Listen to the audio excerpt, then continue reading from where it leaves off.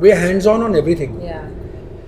So you're right. We'd like to have a slate of like let's say five releases over a two-year period, which means at some point something's in production, something's in you know in, Yeah. in promotion, something's uh, in production, uh, in, the, in, in development, etc., etc. So, uh, and honestly, right now I don't have the bandwidth. Also, it was very important to sort of set a certain benchmark and reputation.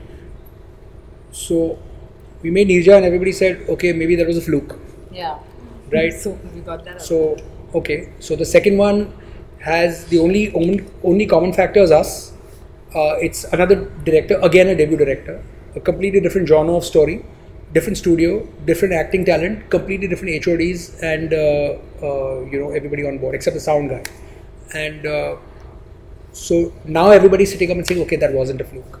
So, so it was really super important to us that we uh, solidify a certain base and a reputation And also, I think the other important thing is um, uh, generally the mentality, you know, within the industry, uh, and not with everyone, maybe with a small section, um, you know, appears to be that let's make a film, you know, and then uh, like a hamburger factory, right? Like a mass production factory, where you sort of enter one, exit, move into the next one, right?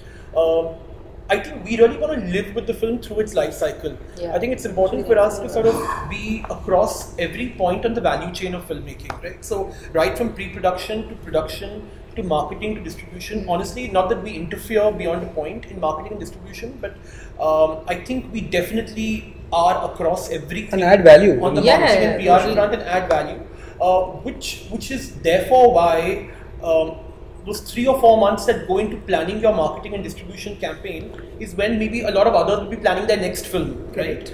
But uh, we'd rather sort of give those three or four months and really aggressively go out in terms of marketing the film because eventually that's what makes your film stand out in a crowd, you know.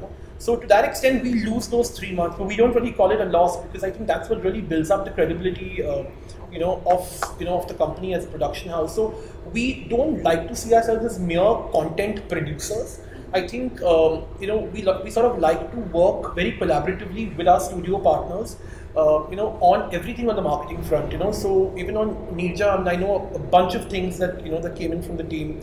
Uh, on, on Sulu, if you speak to our studio partners, you will know there was an incredible amount of value we added in terms of uh, bringing various deals on table, in terms of um, you know various collaborations that we pulled off, you know through personal relationships, in terms of ideating and strategizing an entire PR campaign. And I think that takes a lot of time, value, and experience. You know, so I think that's something we're able to bring on table and you know and add value, you know, for the studio partner as well. So.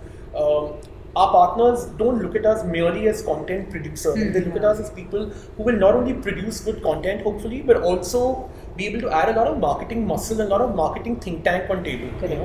And So for I- example, for a female-oriented film, just to add, we had 11 brands collaborating with us, which is unheard of. Uh, in Sulu, of which seven were in film, which is pretty incredible. I also want to add that uh, I think our gestation time with scripts is quite long. We even if we like a subject, the kind of the amount of iterations we do on a script is ridiculous. I think our average time per script would be what eight to Yeah, I mean, eight Cheat India was months to a eight year months, yeah. minimum. Unless we spend that much 100% time convinced. unless unless it's come to us uh, come at a stage stage. where it's almost ready. Otherwise, we live with it. Sometimes we work with a one pager and make it Yeah. a whole screenplay. And uh, I think all of us are always available to spend a lot of time with the writers, directors, and actually work through the whole process. Because, like Atul said earlier, our uh, even our logo talks about how the the word is the most important thing. So the script remains the primary thing. So we spend a lot of time on.